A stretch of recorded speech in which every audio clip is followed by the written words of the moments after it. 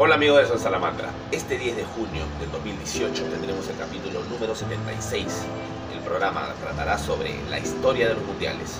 Domingo 10 de junio, capítulo 76 San Salamandra, 7.30 de la noche, después de la misa. Ahí nos vemos.